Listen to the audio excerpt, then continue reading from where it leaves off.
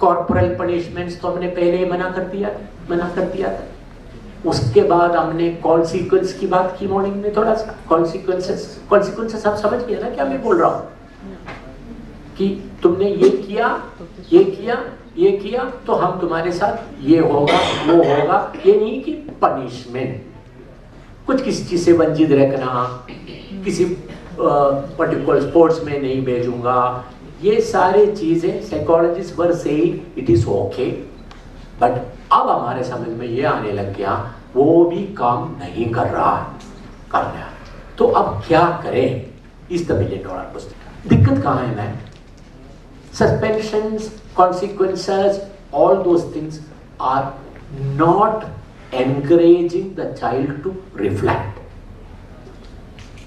whenever the child is not encourage to disc reflect, the child will not im- improve. That is the policy. So now I will tell you one example and uh, it may become a little uh, clearer to you. In one of the schools we look after directly as ETRC, directly looking after certain schools. Looking after mean only the quality. Class eight का एक बच्चा दूसरा बच्चे का और ऐसा मार के नाक तोड़ दिया पूरा खून मगर वो स्कूल में अच्छा बिहेवियर पॉलिसी एस्टेब्लिश्ड है। इस, ऐसे सिचुएशन में हम क्या करते हैं? ये बच्चे को इतना दिन के लिए सस्पेंशन में रखेंगे और उसके बाद put him on behaviour what you call क्या बोलते हैं उसको? ऑब्जर्वेशन या बिहेवियर प्रोबेशन बोलते हैं हम इसको। बिहेवियर प्रोबेशन में रखते हैं। वो बिहेवियर प्रोबेशन में रखा हुआ बच्चा कोई भी दूसरा कुछ भी ऐसा किया तो will be out of the school are you getting this are all establish norms of that school and a very progressive school what I am talking about तो हमें सिर्फ़ इतना करना था पेरेंट्स को बुलाना, बच्चे को हैंड ओवर कर लेना पेपर वेपर साइन करा लेना। अभी हम इसको वॉच करेंगे और इस पीरियड के अंदर अगर कुछ बच्चा और दोबारा कर लिया without any question the child will be out of the school इतना क्लैरिटी वाला व्हाट वी कॉल पॉलिसी है। मगर हमारा टीचर क्या किया? रादर टीचर नहीं थी, वो प्रोग्राम लीडर थी प्रो कोऑर्डिनेटर वगैरह थी। एग्जैक्टली exactly क्या किया? ये बताऊँ तो आपको थोड़ा सा आइडिया मिल जाएगा what we are trying to say बच्चे को बुला के बिठा दिया। बिठाने के बाद पूछा, राहुल, आपने क्या किया? ऐसा क्यों हुआ? तो बच्चा डर के मैं आप फ्री लिखोगे, फिर मेरे सजा होगा। बेटा, सजा तो पहले से ही पक्का है। सजा वाला कहानी तो आपको पता ही है। ये तो आपको सस्पेंशन तो वैसे होगा ही होगा, मगर मैं बात करना चाहती हूँ आपसे। बच्चे से पूछा, ऐसा क्या हुआ? What did you do and why did you do that बच्चा कॉन्वर्सेशन शुरू कर दिया। मैं, वो दूसरा बच्चा, मुझे माँ वाला गाली दिया। मदर वाला। और उसके बाद एक कमेंट और मारा मैं। ओ तेरे साथ तो ये भी नहीं हो सकता, क्योंकि तेरा मदर तो मर गया। बच्चे का मम्मी नहीं थी।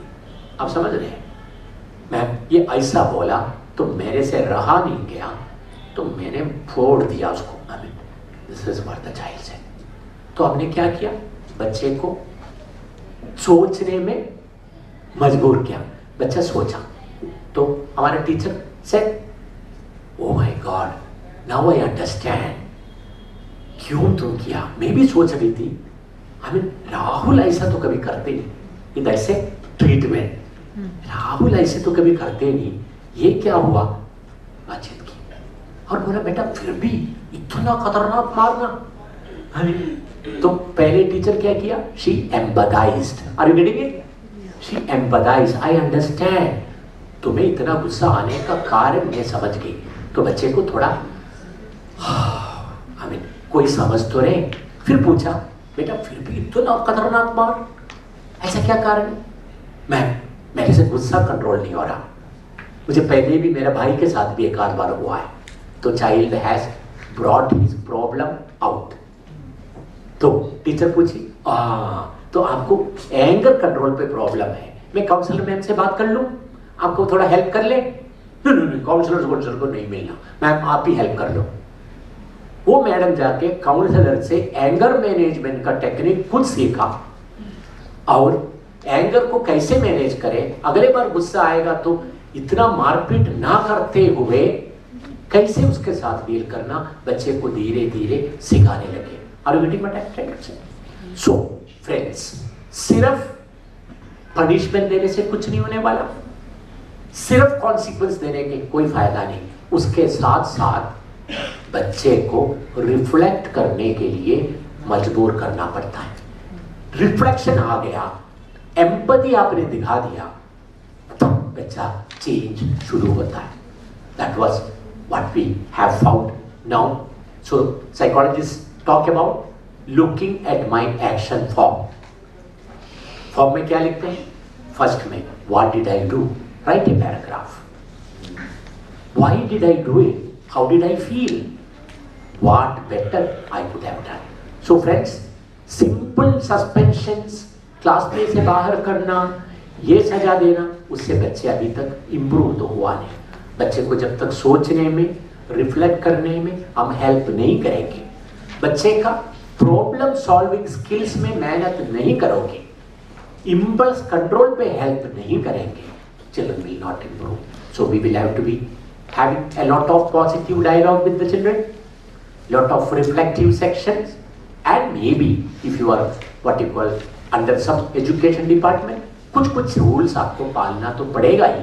तो अगर आपको सस्पेंशन भी करना पड़े तो कभी भी it should not be a suspension without a detailed dialogue और काउंसलिंग सेशन अदरवाइज़ सस्पेंशन के बाद बच्चा दोबारा आकर के और बढ़िया खतरनाक आइटम करेगा। और getting what I am to say friends